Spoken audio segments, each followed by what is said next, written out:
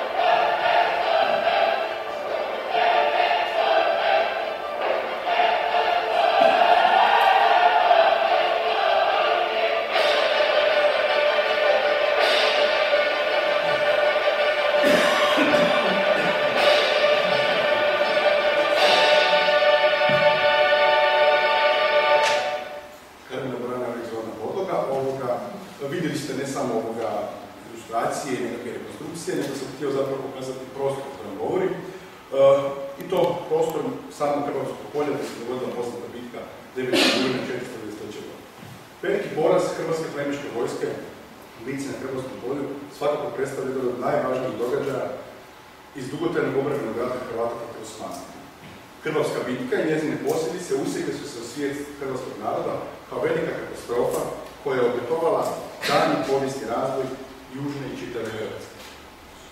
Tako je još e, sredinu 16. stoljeća kroničar Fredan Tomašić poraz Hrvatske plemičke vojske na Hrvatskom polju nazvao prvim rasadom kraljevstva Hrvatskog, vodeće pritom činjenicu da je tu stradalo e, brojno hrvatskog plemstva. Što više, narodna svijest o velikoj katastrofi na Hrvatskom polju sačuvala se u poeziji, te općenito u hrvatskoj književnosti. Ovo su samo neki od poznatih e, zabilježenih pjesama o, o hrvatskom narodu. No sami događaj na Hrvatskom polju svoje e, direktne zapravo e, e uzroke ima znatno ranije. Ranije pritom je potrebno napomenuti da padom Bosne 1463. godine, padom Srbograda Jajca i pobuđenja bosanskog kralja iz dinastije Kotomanovića, Stjepana Tomaševića, ovaj prostor, prostor današnje Rike, ostaje otvoren osnovskom upadima. Iako je još iste zime ugarsko-hrvatski kralj Matija Škorni provalio dominom Vrbasa u Bosnu, te u Jajicu osnovao Jajačku Banovinu, koja je trebala štititi granicu na Savi, što je ono zapravo uspješno i činilo. Prostor današnje Srednjekovne Slavonije bio je zaštićen, na prostor Srednjekovne Hrvatske, današnja Lika, je bio otvoren jer sustav e, nije funkcionirao u potpunosti prema Jadranskom moru. Zbog okolnosti, Ugarsko-Hrvatski kraj Matija Škorin nastoje osigurati, osigurati obranu granice kraljevstva Prvosmana. Da to uspješno učinio, bilo mu je potrebno luka na Jadranu. Stoga je kralj Matijaš nastoja prezirano Frankofanima oduzeti Sen kako bi tu osnovao buduću sensku kapetaniju. Kao oduzimanja Senja poslužile su zapravo prve razornije osmanske provale koje su pogodile ponajviše frankopanske posjede 1468. i 69. godine i to posljedica imanja Stjepana Frankopana, oca kneza Bernardina, koji se našao u vrlo teškoj situaciji, e, pokušavao je sa svih strana e, dobiti pomoć. Nakon što Mugarsko-hrvatski kralj Matijaš nije pomogao, a nije isto je učinila Venecija, koja mu također nije pružila pomoć, knez Stjepan Frankopan se obratio njemačkom caru za pomoć, te čak svoga sina Bernardina poslao na školovanje carski Ovo je svakako bio dobar povod kralju e, da Frankopanima oduzmi se. Te već u jesen 1469. kao što znate, e, kraljevska vojska pod vodstvom Blaža Mađara ušla u Senj, e, te osim Senja Frankopanima oduzela druge važne gradove u Vinodelu, poput Trsata, Ljevinika, Grižnika i Novog. Iskoristivši činjenicu da je, činjenicu da je kralj zauzeo sen, ovoga, te činjenice, te, te, te činjenice su Frankopani e, u tijekom 8. desetljeća 15. stoljeća bili zauzeti obranu svoj posljed od Gradske lici i samog Moduša od osmanskih upada. E, Mlečani su također ovoga, te 480. godine o Frankopanima oduzeli Gubitak priobalja i otoka Krka negativno se odlazilo na ekonomsku snagu Frankopana, koji su te, i tako teški, trpili teške gubitke od učestvani bosanskih provala na njihove posle. Stoga su Frankopani čekali prigodu, da trenut, e, prigodan trenutak da vrate sve, a možda čak i otok. Početkom zadnjih desetljeća 15. stoljeća, nakon smrti kralja Matija Sokolina 490. godine, Frankopanima se učinilo da je došlo dobro vrijeme za e, vraćanje senje. Tako su u rano ljeto 493. godine nastojali e, vratiti sen. Tim tim nastojanjima je pomogao knez Karlo Hrvatski, e, koji je pak želio vratiti to svoj Obrovac. Za njega je pak Obrovac bila vrlo važna strateška luka, koja mu je, uzmeli se u obzir položaj i ugroženost njegovih posjeda u krvavoj lici, bila prirodni izlaz na more. Sačuvano je dosta povijesnih isprava iz Venecije i Milana, pa i sama Vesenja, koji svjedoče da su Frankopani uistinu namjeravali preuzeti Senj, a da sam, e, da je knjez Karlo Kurjaković Hrvatski nastavio ovoga, u zajedničkoj akciji ovoga, e, zauzeti obrovac. E, čini se da su tim nastavljanjima računali na potporu Osmanija, o čemu svjedoče dva pisma metičkog providura otoka Krka, te jedno pismo za Daskilek. Što više, i osmanski ovoga izvori svjedoče u suradnju Anža Frankopana i Data knjeza Vladavina, te Karla Korjakovića sa Osmanima. Naime, osmanski je sa Sadulin kaže da je Karlo, ne Karlo Hrvatski, ponekad iskazivao poslušnost poslovskom sultanu, a ponekad ugarskom hrvatskom kraju. Za Anža Makapana e, kaže da je prihvatio pokroviteljstvo osnovskog sultana, te da se odmetnuo od ugarskog kralja Vladislava Ligovijevića. Nastojeći spriječiti da sen padne u ruke Frankopana i još gore Osmanija, Mlenčani su poslali svoga poslanika Ivana Burđiju početkom srpnja 1493. u Sen sa 600 dukata kako bi naoružao gradsko posla. Što više u istom tom pismu naloženo je kapetanu koji je poslan u Sen sa navedenom svotom da ne provocira Osmanije jer Venecija u tom trenutku imala sa njima potpisan Osim toga, planirano je da Ivan, da Ivan Burđija kontaktira i te da im preda pismo Mletačkog senata s upitom za uvjet uh, povratka grada. Čini se da Frankopani da su, da su Frankopani sa napadom na Sen zaista započeli sredinom srpnja 1493. godine. Naime, e, u arhivu u Milanu sačuvano je nepopisano pismo na omostavnom poslanom iz grada Senja. Pismo je datirano 13. srpnja 1493. godine. Iz njega je jasno vidljivo da je knez Anž, e, da je knez Anž e, namjerava planira napasti Sen s namjerom da ga te da u tome pomožu i ostali, ostala gospoda Franka. Su javili, su javili, e, njima je Sednje javljaju u Veniciju da je Anđe dostupno s Osmanijama koji su mu obećali pustiti sen, ali i neke druge posljede. To se vrlo vjerojatno odnosilo na one posljede koje bi ranije Franka Parima oduzvao kratka Martinić. Iz istog pisma jasno se vidi da je Sen doprila vijest kao pokojnom gradu u pomoć kristiće senski kapetan i hrvatski van Van Leničin sa 4000 konjenika i 2000 pješaka. U svakom slučaju, saznavši da mu susret dolazi kraljevska vojska, predvođena hrvatskim banom Deničinom i banom Ivanom Botom, i nakon što 8. srpnja umro uh, knjez Karlo, hrvatski glavni ne znam, Ana Frankapana, sam Anša povukao svoj utuđeni grad Brinje, uh, uh, Očito se, naime, nije, nije ovoga sudio sukobiti sa banskom vojskom na polu. Dok su vanovi obsjedali ovoga Brinje, pristigla je vijest da je Hadun Jakub Paša ušao u Hrvatsku, te da je Stranjski sa velikim pljenom i brojnim zajednicima se vraća u Bosnu. Prema osnovskim izborima, čini se da, da je nakon što mu je Van Deničin ustošio sam knjez Anš Franka poslao svog glasnika u tabo Jakub Paše, moleći ga pritom da mu pomogu.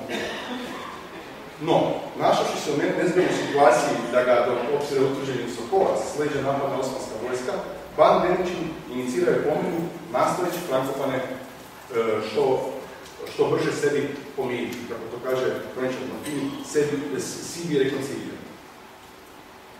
E, no na koga se to zapravo odnosilo? S kim je to ovoga, Deničin, koga, s kojim to Frankopanima nastao, poboljšati odnos? Budući da svojim postrojbama nije sudjelovao u Hrvatskoj e, budući da je svojim postrojbama ispričavam se sudjelovao u Hrvatskoj bici, knjez Bernardin Frankopan očito je prihvatio prijedloge polimbe, jer su naime samo nekoliko dana ranije, početkom kolovoza, osmanske snage upustošile u glavni grad Moduša. Naime, e, u svojem pohodu Jakub Paša je stigao do Moduša gdje je popalio opljačkao crkve i kuće moduških građana. Pritom je važno napomenuti da sam grad Tržan, ona utvrda gore nije stavljena, jer ovakve tek će kasnije. Eh, ali se svako knjez Bernardin bojao strahova da bi mogli stati drugi njegovi posjedi, a inače se zapravo izvijesti koje imamo o Bernardinu čini da on nije bio sponsoracija s vama. Tako je još do 4. lipnja iste te godine, prema pismu milanskog poslanika Tadije Lubrikata, eh, Bernardin od metačke vlade tražio pomoć eh, u ratu protiv Osmana. No, svega to ipak nije spriječilo da nakon što da iskoristi gužu oko grada Srednja i, preuzme kontrolu gradovima od Trsata do Novoga, ali ne samo sve. Tako je Bernardin zapravo ostvario važan uspjeh, ostvarivši kontrolu na gotovo čitavom preostalnom obalom kralju, obalom kralju Hrvatske, to jest na bivšim patrimonijom knjezova Franka Pana na S druge pak strane, kako nigdje nema baš nikakve potvrde da je naš Frankopan sudjelovao sa svojim postupama u Hrvatskoj bici, on se očito nije pomirio sa Van u ostalom, njegova sestra Doroteja, supruga pokojna knjeza Karla Krnovskog, nije sudjelovala sa svojim postupama u Hrvatskoj bici, iako je ona održena pod njezina grada Podbine, srednjevijekovne Podbine. Teško je zapravo uh, reći da bi Deničin i, i nastao se pomijeniti sa, sa knjezom Anžom Naime, u opsadi e, Anželovog grada Vinja poginuo je sudrugu u banstvu Ivan Bovca Bajne. Osim toga, u slučaju Deničinove pobjede nad Jakov Pašom, ulog je bio puno veći na unutarnjem političkom i na, e, i, i na vojnom. Naime, pobjeda bi značila uspostavu, uspostavu i obnovu autoriteta kraljevske vlasti i potvrde e, uloge banskih banderija u velikim bitkama sa Osmanima. Zbog toga Ban Deničin e, je bio voljan nakon pogibije Ivana Bota surađivati s Bernardinom, a vrlo vjerojatno s ovom osnovnom hrvatskom gospodom, možda baš kako bi očitao lekciju knezu Anđu Frankopanu, njegove sestri knjigi i sada već u knjeza Kara Hrvatskog, e, i, i na ovoga odagnala moguće suradnje sa Osmanijama i s Venecijom. Iz svega je očito da je zapravo zapis Krančera Martinija o tome da je Deničin nastavio podviditi Frankopane sa sobom, da se taj zapravo zapis odnosi na većinu članova roda, ali ne na njegovog ljudnog neprijatelja Kneza Anžeta. U nastavku ću reći nekoliko riječi o kretanju dolaska Osmanija na Hrvatsku. Prema izborima nije poznato kojim se smjerom kretala, kretala osmanska vojska prema Hrvatskom polju nakon što je opustošena noć. Svakako, Jakub Paša doveo svoju vojsku do gore Vraži vrtal, kako to je napisao Ivan Tomičić. Gora Vraži vrtal su oko obrovci ovoga Lješinice, koje, to je brda planine koje odvaja ovoga Hrvatskog dihačke kraja. Taj smjer izabrao Jakub Pašu jer je nastavio izbjeći sukob sa hrvatskom vojskom i što prije se sa velikim plijenom i brojnim zapovjednicima vratiti u vojsku. Brži smjer bi bio ovoga od Moduša preko današnjeg ovoga prema Bosni, preko današnjeg sela Izačića i Izača, ali Jakub tu da nije, se odlučio kretati jer je u Bihatu stajala jaka kraljevska vojska, te bi taj zapravo smjer ga izložio opasnost. Druga je mogućnost bila kretanje preko uobičajenim monodobnim putom od Moduša prema, prema i dolini rijeke Gatske, pa dalje u Ličko polje na, i pa onda u Hrvatsku i dalje prema rijeci Uni. No taj smjer svakako nije dolazio u obzir, jer znamo da se u tom trenutku pod Dobrinje nalazila planska vojska, koja je blokirala. E, očito je jedini preostali mogući put bio zapravo najteži, ali najsigurniji, ako ne najbrži, kroz političke šume, do današnjeg Koreničkog polja i dalje prema Hrvatskom. S druge strane, moguće je da, da je Ban Deničin e, povukao hrvatsku vojsku do Hrvatskog polja, ne samo zato što je to bio najbliži put do Lijeke, do Lijeke Unije i dalje prema Bosni, kamo su Osmanije nastale proći, već je Ban Deničin namjeravao, kao što sam rekao, za zaštitu knjiginu Doroteju Frankopanu u ovu kralju Hrvatsku, da ne nastavi politiku pokrenu supruga, supruga i da pristane na vjernost vojskog hrvatskog kraja. Naime, imamo vijesti o tome kako je početkom kolovoza knjeginja Doroteja zatražila od Metičkog senata da je se pošalje municije za obranu gradova pokojnog supruga. To je senat predobrio 13. kolovoza 1993. godine. Što više idući dan Metički senat govorio o knjeginji Doroteji da je nju njezina sina uh, prima u svoju zaštitu. Čini se kako je Deničin računajući na snagu brojne svoje vojske bio uvjeren da na dolazećoj bitci može pobijediti Osmanije, te namjerno odabrao široko polje podnog grada Udbine kako bi knjeginji Doroteji pobjedjeno brojnom osmanskom vojskom, i to baš podno njezine grada Udbine, pokazao snagu kraljevske vojske u ovom slučaju Paskog Moderija i odagnao se svaki smeći. Svakako je neupitno da su se Osmanije vrlo brzo pojavili na sjeverozapadnom rubu Hrvatskog polja. Nažalost, ne možemo, ne možemo, ne zna se kojim su putem iz Koreničkog polja prešli u Hrvatsko polje, to su mogli čuniti iz dva smjera, ili preko kroz klanac Vrtila do Bunića ili pak preko uh, prijevolja Debelo vrta. To je zapravo smjer koji danas ide cesta Bijeg U svakom slučaju, većina izvora govori uh, da je osmanska vojska izašla iz šuma i došla na otvoreno. Oni su vrlo vjerojatno planirali doći vodu današnje Udbine kroz klanac poziv Drago Primate gore u putu, otkuda se pak vrlo lagano dolazi do, do, do, Lapca i dalje do linije Svakako su Osmanije došli do tog otvorenog polja, gdje ih je prema vijestima češkog kulturista Jana, Jana Haseštajnskog, e, prema njegovim vijestima, na vojnom polju ih je već dočekala spremna hrvatska vojska. Slično, slično govori zapravo i kroničnog Prije samog opisa bitke potrebno reći nekoliko riječi oko sukoba na, oko sukoba za izbor ratnih dana. Saznao se da ga na Hrvatskom polju očekuje brojna hrvatska vojska, Jakub Paša je predložio da uz pogodnu mirnu napusti Hrvatsku. Uvjeren u snagu brojne svoje vojske, Ban Deničin je zatražio da se puste svi zarobljeni kršćani. Ovako uvijek Jakub Paša je odbio, vrlo vjerovatno jer je od pregovača dobio točne vijesti o kvaliteti i raskladu Hrvatske vojske. Moguće je da Jakub Paša od svojih izvidnika saznao da mu Hrvatska vojska ne priprema stupnicu u plancima, te da računajući na uvježbanost, brojnost i iskustvo svoje konjice, odlučio se prihvatiti za izazov i sukobiti se sa Hrvatskom vojskom na otvornom Svakako se svi izvori slažu da je Hrvatska vojska bila brojnija, ali da su smanjeni bili na noćnom poljeništu, osim toga osmanske četiri bili su sastavljeni iskusnih rata. O broju ovoga Hrvatska vojska različiti izbori donose različite procjene, ali se čini da je revidirana procjena bila da je Banova vojska imala oko, ukupna Hrvatska vojska, imala oko 10.000 vojnika i to najvećim dijelom da slabo naoružnih pješaka. Većinom Hrvatske vojske, kao što rekao, se činjavali su pješaci, za koje je Denitina sam Udoli Klubiran Cilivić rekao da iako su hrabri, e, bili zapravo nevišni bliskoj borbi u strogom borbenom. E, što više, iako u hrvatskoj historiografiji ustavljeno mišljenje da, hrvatsko su hrvatsko pišaštvo sačinjavali seljaci na brzinu pokupljenih iz posla knezova krpavskih nakopana, mnoge istraživanja bliže su mišljenju da se ipak radilo plemenitih uh, rodova i plemenitih općina sa prostora Krbavi i okolnih.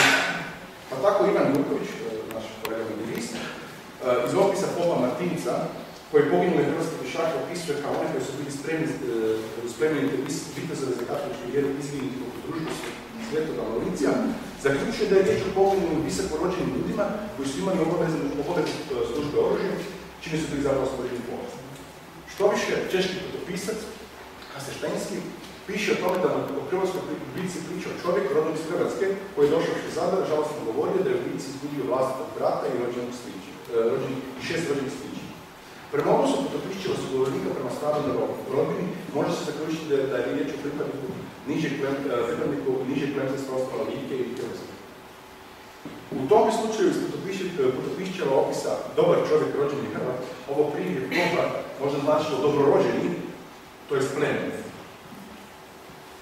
No gotovo svi izvori govore o sukobu između Bana Verenčine i Knjezova i to u prvom redu Ivana Knakapa Cetinskog oko izbora ratne takve ispravno zaključujući da Osmanlije nastaje krenući put u dolinu Rijeke Une, dalje prema Bosnu, Frankopani su predložili da ih se dočeka u zasiti jedan od lanaca kroz koji su morali proći s Hrvatskog pola.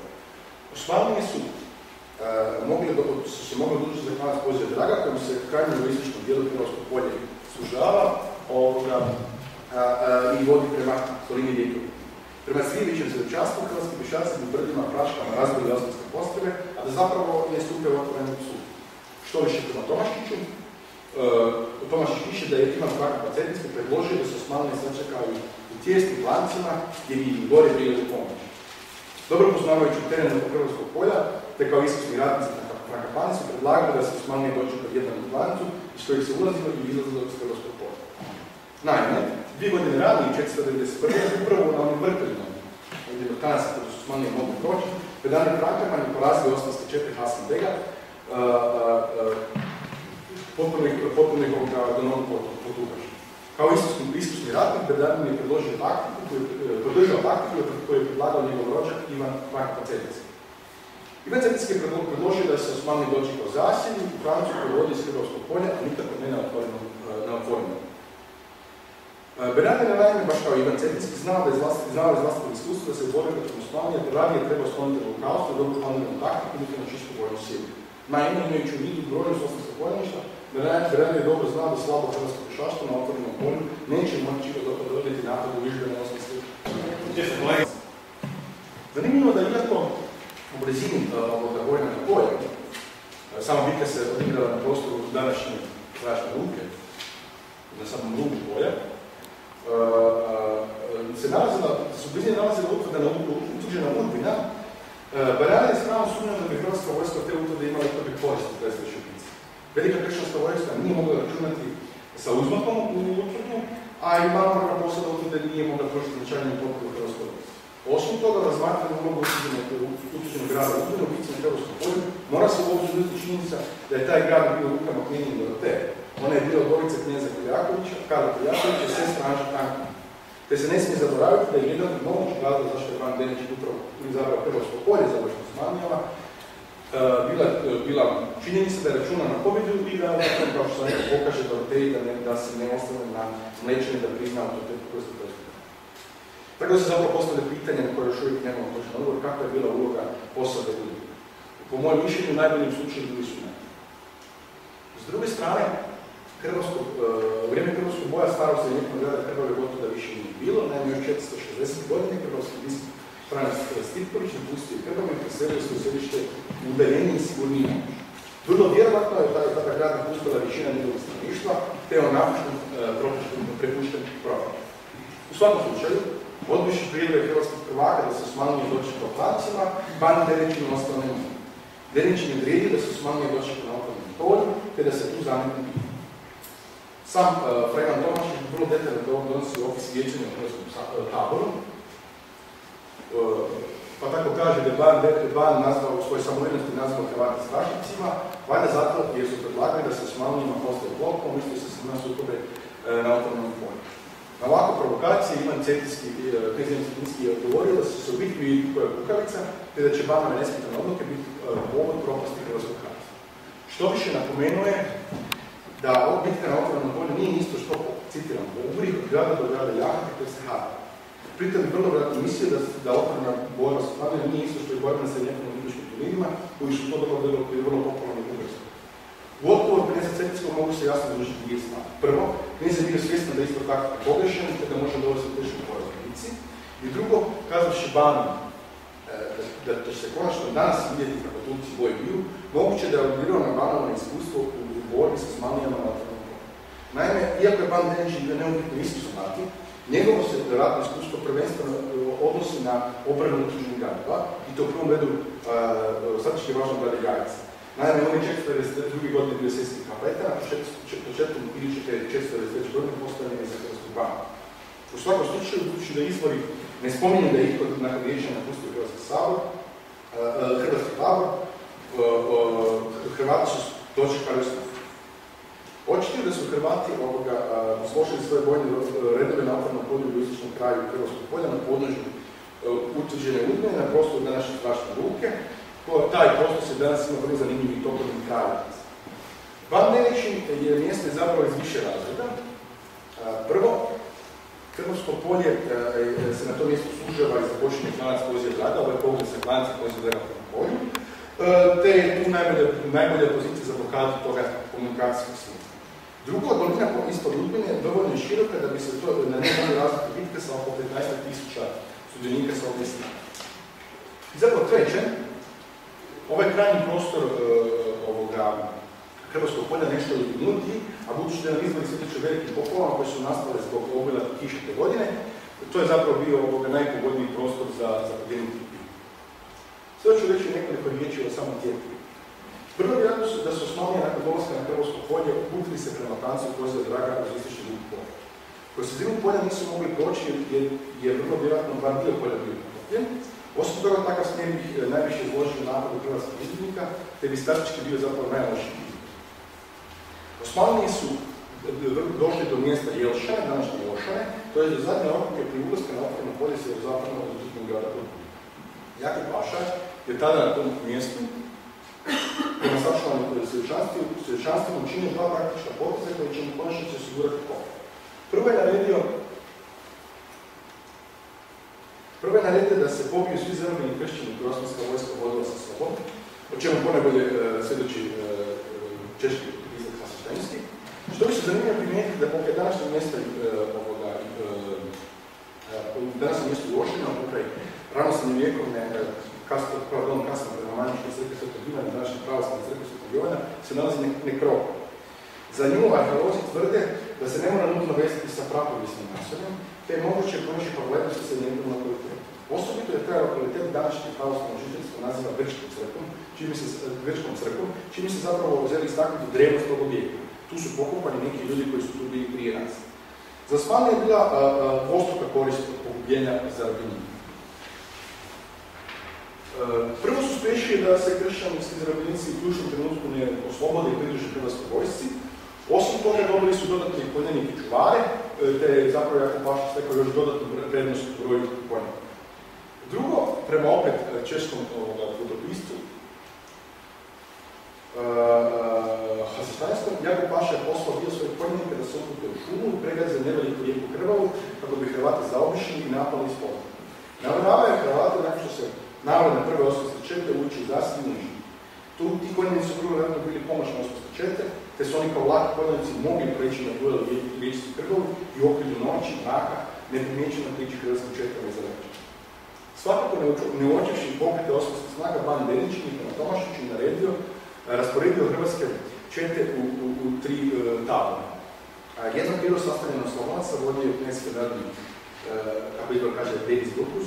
Vrlo vjerojatno riječ je Franjo Berislavić Grabovski, koji se 1494 spominje kao ljejački dan. Sljedećim dijelom zapovjedao je knjez Ivan Cetinski, a drugo krilo je pak bilo po zajedničkom zapovjedništvom Bernardina Frankopana i Nikole Držačka. Glavni zapovjednik Hrvatske vojske svakako je bio ban Denić. Denić je se vrlo vjerojatno kao slavonski ban nalazio među Slavonci. U biti se istrpno niz uh, hrvatskih plemića, no mora se napomenuti da ovaj raspored kršćanske vojske moguć baš ovako, uzmeli se u obzir da nam izvoli govori o tome da nakon što mu je razbijen ovoga njegovo lijevo krilo, da je dan nakon bježao pre, prema Nabujele riječici krvovi, što bi teško činio ako se nalazio na desnom u trenutku bi se slijedio prema šumama. Uh, najnovijim arheološkim iskapanjima pronađeni su grobovi lokaliteta crkve, crkve Marko grob, što nam dodatno potvrđuje da je moguće baš tako bio vojni naspad. S druge pak strane, i osnovski četiri su bili podijeljeni u tri, tri tabora. Ovoga, uh, jedno bilo je vodio Smajl Bek za povjedeći četom iz Srbije i Kruševačkog Sanđaka, drugo je vodio uh, Muhammed Bet Karilski, uh, Karilski vojvoda, koji je zapovjedao, zapovjedao ratnicama iz Južne Rumenije, dok je sredinom zapovjedao sam Jakub Prema pismu Ninskog biskupa Jure Radinića, bitka je započela u 6 sati ujutro, no postavlja se pitanje koliko je trajalo. Još 30 godina prošlog stoljeća, stoljeća povjesničar pozivajući se na osnovske izbore, koji govore o tome kako se bitka vodila od ranih jutarnjih sati, e, zaključuje da se morala voditi do 4 kako se podne, do tog zaključka dosta na osnovu podatka da Jakub Paša dva navrata se sam povukla iz bitke kako bi dovoljio klanjenu molitvu podne i posle podne. Prema svjedočanstvima biskupa Divinića bitke se vodila iz bliza nije bilo uobičajene borbe rukovima, strelama i tačkama prije sudaru glavnih. Tijek bitke. Prema Tomašićevoj kronici, osnovski vojskovođe snažno je napao, frontalno napao prve redove Bernardinovog i okvira. Nakon što mu je razbijeno pešastvo, se je bio prisiljeni povući se, ostavit se za sebe sve pešlake koji su neredno se povlačili prema Nabujnovićici krve. Vrlo vjerojatno su Bernardinove čete e, doživjeli teški poraz, poraz jer su u ključnom trenutku napali osnovski konjenici koji su bili u zastavu. Dolazak ratnih pričeva u ključnom trenutku spominje i uveski kroničar konfinu. Nakon što mu je, što mu je razbijeno lijevo krilo Hrvatske vojske, navalio je Ismail Bek uh, na čete knjeza Ivana Cetinskog, te, te Hrvatske vojske u istom trenutku napao i Mohamed Bek sa lijevog gospodskog brigadom.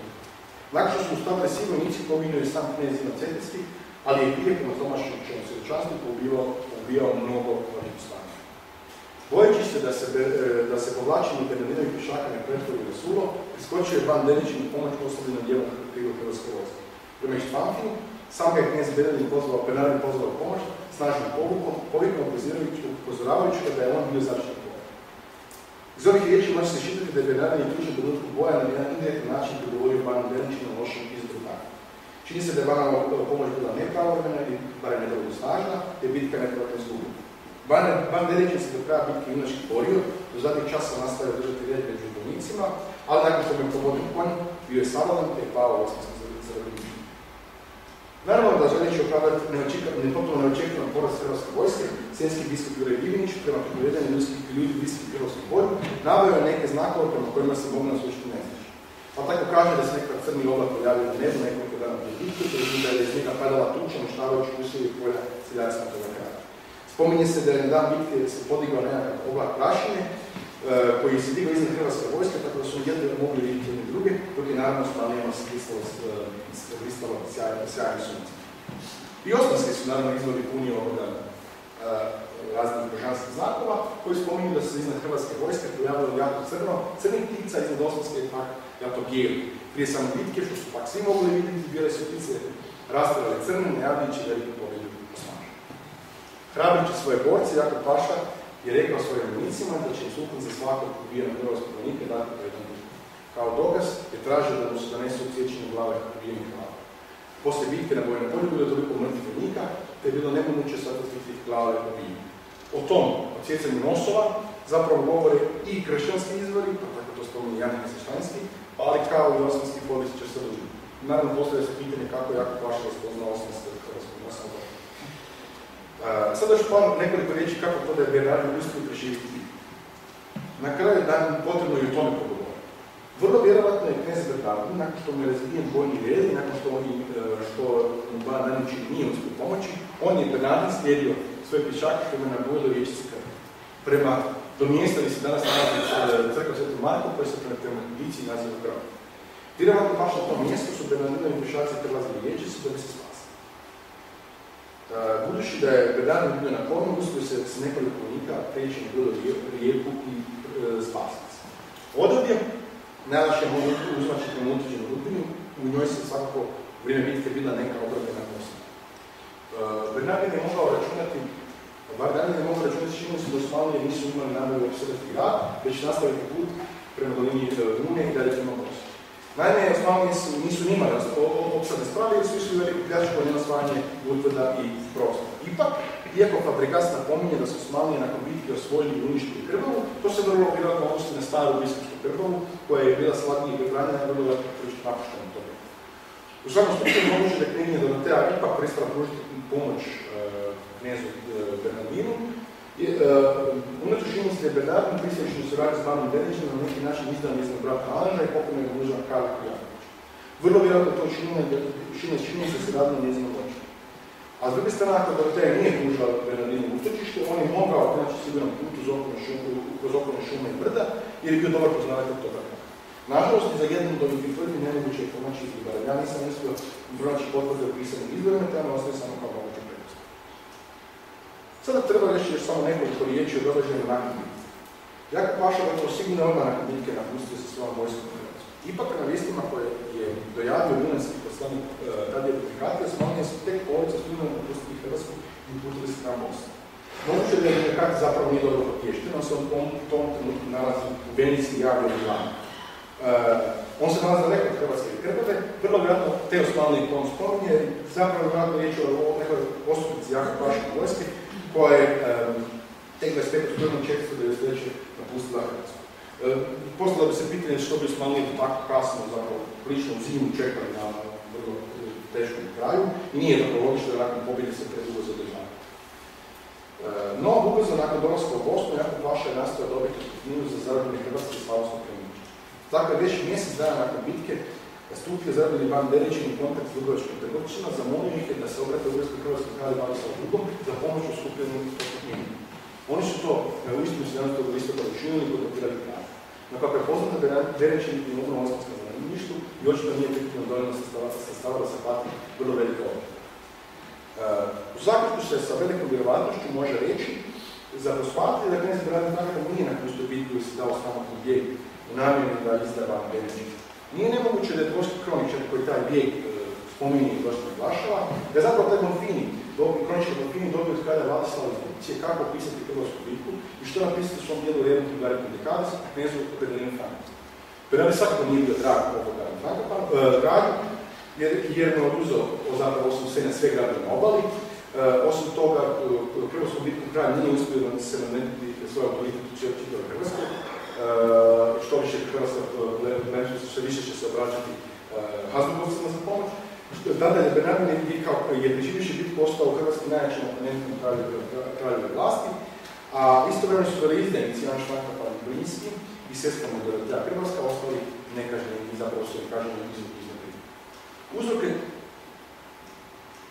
Uzroke teškog, hrvatskog, teškog poraza na hrvatskom, hrvatskom polju 493. godine prvenstveno treba tražiti u izboru ratne taktike, da su smali dočke na otvorenim poljima, na lancima, u činjenici da je hrvatska vojska bila sastavljena slabo pokret šadije, Svakako su osmanskoj pobjedi e, prigodovali činjenici da su njihove četiri bile većinom sastavljene od prokušanih iskustnih ratnika, potom da je osmanska vojska bila brojnija pomoćna.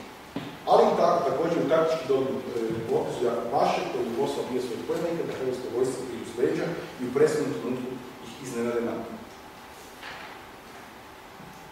Krvovski boj je, je bio krvav i njemu je poginuo veliki broj pripadnika hrvatskog branstva. Osim toga, stanovništvo Like, u stanovništvo Like i Krpave upao sa veliki strah, o čemu ponajbolje svjedoči zapis Popa Martinca, nastao svega nekoliko dana nakon njih. On kaže da je zabrinut s velike svih koji su živjeli u ovim kako nije bila uh, viđena od vremena nečisti tako je bolna i jazda. Uz opću nesigurnost, možda najveće negativne posljedice hrvatske bitke bio gubitak podići članova hrvatskih kliničkih obitelji.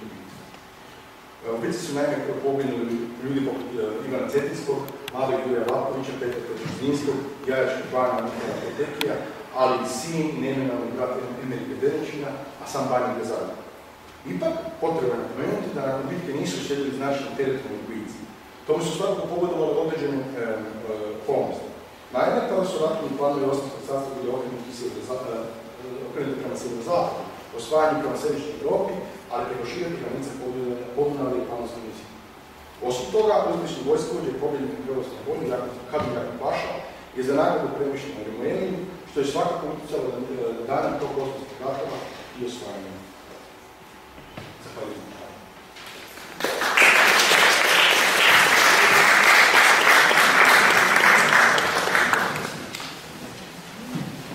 Evo, kolege, izvolite, ako imam kakvo pitanje, da bi pravo vrijeme Evo ja nešto pitam. Ovaj, spomenuli ste ovaj broj od 10.000 hrvatskih vojnika. E, Koliko tom broju možemo vjeriti?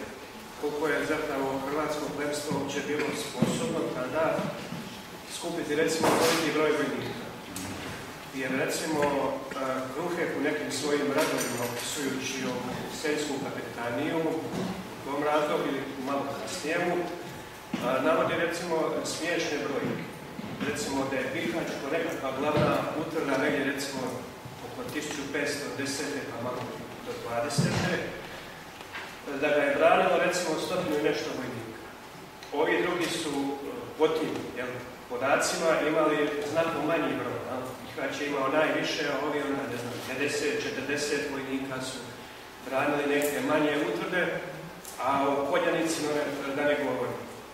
To je jedna stvar, a druga, e, također ovi dokumenti Bosanskog pašaluka i ovih upravno-teritorijalnih jedinica koje su mu prethodile, e, zapravo sugeriraju da Osmanlije nikada na našem teritoriju, hoću reći na teritoriju kako Bosne, tako i Hrvatske, nisu držali nekakav veliki broj vojnika, niti su tim sukobima koji su se kod nas odvijali koristili velik broj vojnika. Pa ste onda i sami tu rekli kako su oni znači išli u Krajinsku i Štajersku, odnosno u te slovenske zemlje, zapravo nisu vodili znači nikakve opsadne sprave i tako dalje, a onda i potom možemo pretpostaviti da ni oni znači da to vjerojatno možda bio neki manji od Pa da, da, zahvaljujem pitanju, to je jako dobro, pogotovo kada se govori o bojkama, ne? Imamo narativ koji čak govori i sada već o ali narativ se ne kao takvi su uvijek podložni subjektivnom ono koliko ga sastavlja i te brojevi zapravo iz narativa su dugorazni te će različiti. Ovaj broj od 10.000 vojnika ja temeljim na jednom drugoj analogiji. Uh, ovdje nisam stigao spomenuti, postoje nekoliko vijesti o tome kako se Bernardin uspio spasiti sa jedva desetinom svoje vojske i pritom se navode brojevi od 600 do 700 njegovih vojnika. E sad taj broj od 600 do 700 vojnika je, mogu da li su to pojmenici ili to ukupna vojna snaga. Uh, Banderi, magnetske likaške obitelji kao što su bili Frankopani, koji su to doba definitivno bili najmoćnija obitelj Srednjeg Hrvatske, pa zapravo i Slavonije, prema dekretima kraljevskih, kraljevskih dekretima Banderi je mogao imati ovoga, onaj, ona to jest onaj velikaš koji je mogao sastaviti u tom trenutku je Banderi bio 500 konja. I sad kada se taj broj uspoređuje ovoga, broj konjenika sa onim koliko je pješaka moglo pratiti, a učestvala je u historiografiji zapadnoj, se obično uzme omjer 1 naprema 3, ako to uvijek varira, onda već dolazimo da je nekako Bernardinova vojna snaga mogla biti, ajmo reći, 2000 vojnika. Ako je to samo jedno krilo, pomnožimo to sa 3, približavamo se tom broju 10.000, ali to uvijek ostaje vrlo upitno i tako dalje. Pritom je bitno napomenuti da je Banderi zapravo operativna snaga koja je u tom trenutku jedna, jedna ovoga, velikaška obitelj ovoga, podiže, ovoga, a ne ono cijeli vojni potencijal koji oni toga tada imaju. Ovoga. E, Franka pa ni zapravo tada ratuju već neko vrijeme sa Osmanlijama, ali njihovi posljedi još nisu toliko, toliko opustošeni kao što recimo govori vijesti u početku 16. stoljeća. Osim toga, već iduće godine Bernardo poteže novi model i šalje ga svojim rođacima u sjevernoj Italiji nekakav sukob e, na između. Znači da, da je on zapravo u tom trenutku mogao raspolagati s tom, s tom, ovoga, a, e, s tom nekakvom vojnom snagom. E, Pa onda bi taj broj možda mogao biti manji, e, možda i znatno manji, ali po mom mišljenju nikako ne veći.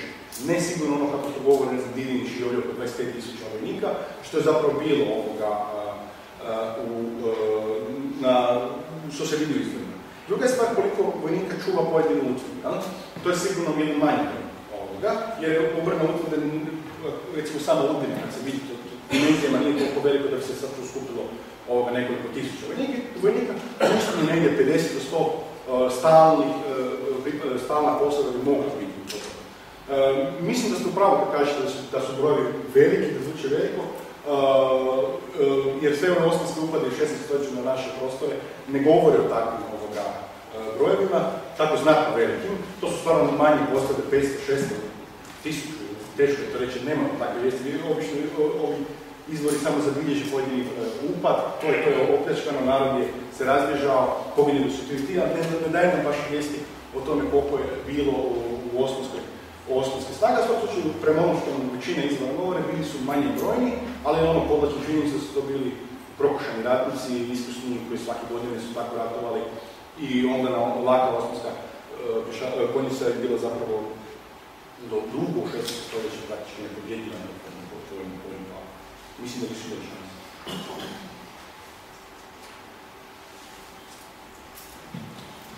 Izvolite.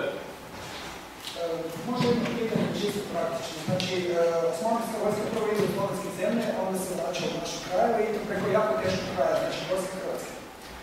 I to su sad ono stotine kilometara. Mene sad zanima e, koji način su se oni uopće orijentirali. Znači, nemamo neke utrebljive karte, ako ih imamo, to su karte koje izgledaju ovako smiješno, nečisto pregledno. A znamo da je tad da su šume bile manje iskrčene, da je bilo više šikara i tako dalje. Kako su se oni kretali, ono čisto praktično? Pitanje.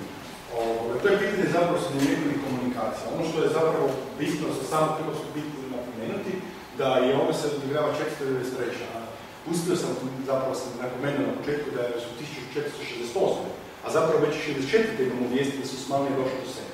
Znači oni su imali dovoljno vremena da upoznaju prostor. To je. Druga stvar je pitanje sastava osmanske vojske. Ja namjerno izbjegavam izvor riječ Turci, jer bi to nisu bili vjerojatno etnički Turci, nije isključena mogućnost, a imamo zabilježeni slučajeva da su zapravo prešli na drugu stranu. Pa vrlo vjerojatno je to narod koji je možda živio tek kraći period pod Osmanlijama i oni su znali. Sve neko, ono što ja ovako, iako mislim da Gordon puno se više bavio o prometnicama, sve nekovi su zapravo ljudi imali neke uobičajene prometnice koje su u najvećem dijelu odgovaraju antičkim smjerovima kretanja, a i dan danas zapravo osim ovog upitnog smjera do Splitice, iako se čini da je ipak moguće. Ovoga, e, najčešći smjer je bio od Moduša preko Kapele, e, koja se zove kao prema Pavličkom samostanu, koja je zajedno bila točka prije Hrvatske planine, na Brinsko polje, Gransku, e, iz Gradske se vrlo lagano Liku, a onda iz ima nekoliko smjerova, ali najbolji je zapravo taj uh, uh, današnjeg pomičara, najjužniji točka, to je zapravo najprolazniji. E, tako da, da, da, mislim da su Osmanlije već imali dobro vremena da poznaju smjerove predsjednika, tako da, nisu, imali su vjerojatno ljude na terenu koji su im govorili. Potrebno se pitanje da su mogli početi s ovu kožu, draga koja je dosta visoko. E, mi smo imali priliku otići tamo, iako to je vojni aerodrom, pa nas je vojska vozila. E, čini se da je ipak prolazno, da, da je to jedna dolina koja zahtjeva određeni napor, ali e, zašto smatram da je pro- prolazno? tu da kako nisam, e, mogu reći da sam nacrtao, ima utvrda koja se zove Kozija Draga ili Karlo Tvori, koju crta još Henneberg 1913. crta. Ona je kao takva sigurno tamo postojala, ne kako to kaže Fras, e, kao ovoga, lovački dvorik e, Kar- Karlovića, nego kao i većina se njegovih utvrda za kontrolu nekakve prometnice. Tako da bi to ukazivalo da je taj smjer imao.